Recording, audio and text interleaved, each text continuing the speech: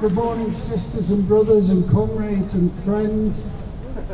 Can I first of all say a huge thank you to all of you for being here today. My emotions range between sadness and anger. This man who's done absolutely nothing wrong has been persecuted for years and years and years. He spent over five years in the high security Belmarsh prison. I had the opportunity along with Jeremy Corbyn to visit Julian uh, in September and my blood boils at the idea of the establishment both in America and of course the poodles that we have here in our own government, persecuting him. For what reason? He's not been charged with anything, he's simply told truth to power.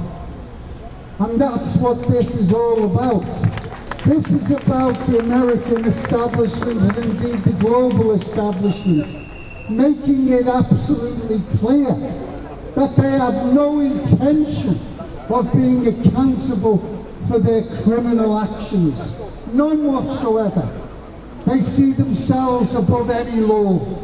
And anybody who attempts to expose, as Julian did, what they are doing, they are relentless in their pursuit against them. And the only thing we can do is to protest, is to raise our voice and there are millions throughout the world who are supporting Julian's demand for freedom. That's why your presence is so, so very important.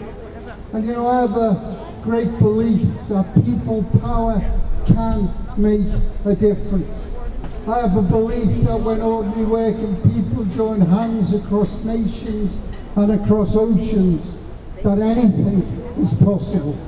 And that's what we must believe. Keep fighting for justice and it will prevail. Thank you, comrades.